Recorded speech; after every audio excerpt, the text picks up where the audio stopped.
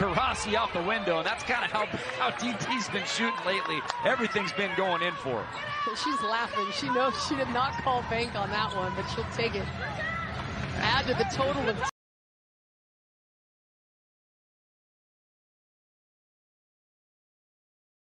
Around the Gustafson screen. Attacks.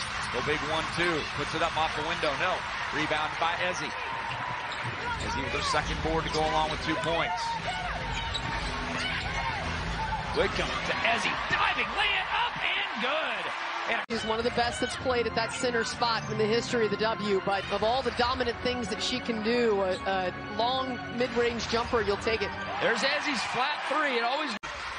Mercedes comes in for Dulcy. Only the fourth team foul on Seattle the whole game.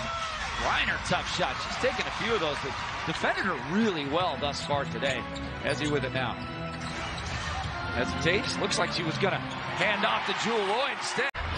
And a 15-foot jump shot by Moriah Jefferson is up and in, and we are tied here, nearing the two-minute mark in the third. And it's just been an explosive third quarter for Phoenix.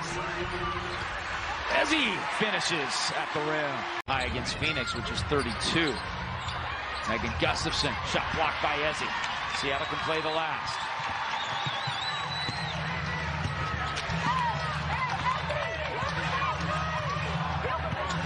Jade, waist high dribble. Right to left. Eight seconds left. Seattle trying to get some momentum going into the fourth quarter. Ezi to the window and scores. Use that here with three or more blocks. There is no one in the WNBA with more. Here's Ezi with it. Going coast to coast. Nobody stops her. Okay. I'll just. Sutton flips it up with the right hand. No. High above everyone is Mercedes Russell. Yeah, another rebound in traffic. Oh, touch pass inside to Ezi. Ezi is so